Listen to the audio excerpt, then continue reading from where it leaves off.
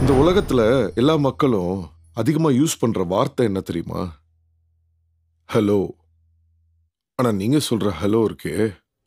வேற லெவல் நானும் மொழி பயணம் அப்படின்னு ஒரு பேக் டு பேக் ஹிட் மூலமா கொடுத்தவர் தான் ராதாமோகன். சார் அவர் கூட வந்து உப்பு கருவாடு பிருந்தானம் சொல்லிட்டு சம் லாஜிக் மிஸ்டேக் படத்தெல்லாம் கொடுத்தாரு. ஆனால் அது மக்களை போய் சேரல. நம்ம பேர் வந்து சினிமாவில் நிற்கணும் அப்படின்னு சொல்லிட்டுருக்காகவே காற்றின் மொழின்னு ஒரு அழகான படத்தை எடுத்திருக்காரு சொல்லணும். ஆற்று முப்பத்தாறு வயதிலே ஜோதிகா மேம்ஸ் பேக் தான் சொல்லணும். ஊழியில் மகளிர் மட்டும் ஒரு படம் கொடுத்தாங்க. அந்த போய் ரீச் ஆகல. சிசிவியில் வந்து ஒரு நல்ல ரோல் ப்ளே பண்ணாங்க. அதுக்கு அடுத்து திரும்பி காற்றின் மொழியில் ஒரு கிரேட் ஸ்கோப்ல ஆக்ட்ரஸாக நடிச்சிருக்காங்க தான் சொல்லணும். சாதிக்கும் நினைக்கிற ஒய்ஃப் அதுக்கு சப்போர்ட்டாக இருக்கிற ஹஸ்பண்ட் ஆர்ஜேன்ற ஒரு கேரியர் செலக்ட் பண்ணுறாங்க அந்த ஆர்ஜே கேரியரில் என்னென்னலாம் கடந்து போகிறாங்க அந்த வாழ்க்கையில்? எத்தனை மனிதர்களை சந்திக்கிறாங்க? அவங்க ஃபேமிலி மெம்பர்ஸ் அகைன்ஸ்ட் இருக்காங்க அந்த ஆர்ஜேக்கு அது எப்படிலாம் கடந்து போகிறாங்கன்னு தான் விஜயலட்சுமி பாலகிருஷ்ணனோட வேலை.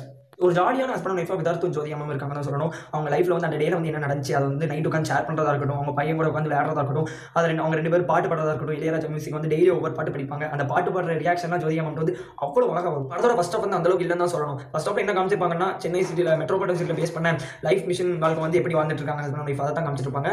அப்பப்போ சில கேரக்டரும் எழும் இந்த நீலகண்டங்கிற மாதிரி கேரக்டர் எல்லா கேரக்டருக்கும் கரெக்டான ஈக்குவல் ஸ்கோப் கொடுத்துருக்காங்க. ஃபர்ஸ்ட் ஆஃப்ல வந்து இவங்க வருவாங்க. ஆனால் செகண்ட் எதுக்கு வராங்க அப்படின்னு கேட்போம். செகண்ட் ஹாஃப்ல வந்து அவங்களுக்கு வந்து அவங்களால ஒரு கதை இருக்கு அப்படிங்கிறத செகண்ட் ஆஃப்ல வந்து ப்ரூவ் பண்ணிருப்பாரு அதான் ஸ்டோரி ஆரம்பிக்குன்னு சொல்லணும். அந்த ஒவ்வொருத்தர் ஆர்ஜேக்கு வந்து ஃபோன் பண்ணி கேட்கிற போது அவங்களோட ஆறுதல் வந்து சொல்கிற ஒவ்வொரு சீனும் அது அற்புதமாக இருக்கும். அந்த ஒருத்தர் வந்து கேட்பான் வைப்பர் ஹெட்லைட் அந்த சீனாக இருக்கட்டும் அந்த நீலகண்டன் வந்து அவங்களோட தனிமையை குறிக்கிற சீனாக இருக்கட்டும் யோகி பாபு வந்து ஒரு கேமியோ ரோல் கொடுத்துருப்பாரு அந்த காமெடி சீனாக இருக்கட்டும் எல்லாருக்கும் ஒவ்வொரு கதை இருக்குது நம்ம வாழ்க்கையில். அதை வந்து இவங்க வந்து எப்படி ஆறுதல் பண்ணுறாங்க அந்த விதம் அவ்வளவும் ஒரு அருமையாக திரைக்கதை கொடுத்துருப்பாரு தான் சொல்லணும் ராதாமோகன் சார் போயிட்டு இருக்கும்போதே அடிக்கடி வித்தார்த் லைஃப் ஸ்கூப் வந்து வரும். அது வந்து தேவையில்லைன்னு நான் நினைக்கிறேன். அது வந்து ரொம்ப இழுக்குது அப்படின்னு ஆடியன்ஸ் தெரிவிக்கிறாங்க. என்னடா இந்த சப்ஜெக்ட் வந்து ஹீரோயினை பேஸ் பண்ணியிருக்கு? அப்போ வந்து படம் ஃபுல்லாக ஃபெமினிசம் பேசியிருப்பாங்களோ அப்படின்னு யாரும் பதற வேண்டாம். ஃபெமினிசமே பேசியிருக்க மாட்டாங்க.